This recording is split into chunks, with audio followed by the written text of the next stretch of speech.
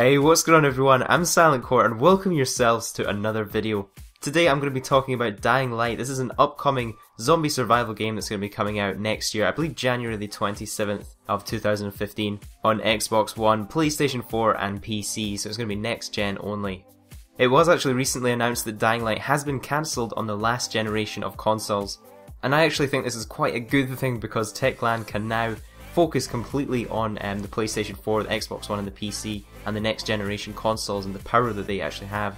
So what I'm going to be talking about today are some of the weapons that can be found in Dying Light. So it has been announced that most of them are going to be melee based, however there are going to be some sort of throwing based um, weapons, and there's actually confirmed to be over 100 weapons that you can use. And you are going to be able to actually craft weapons and I guess modify weapons to add um, extra components on them to make them even more deadly, and I guess that adds up that number of even more weapons that you can use in this game. So Dying Light have been releasing very very short snippets of a few of their weapons in action, so what I'm going to do in this video is compile them all together and show you guys 5 awesome weapons that have been revealed so far.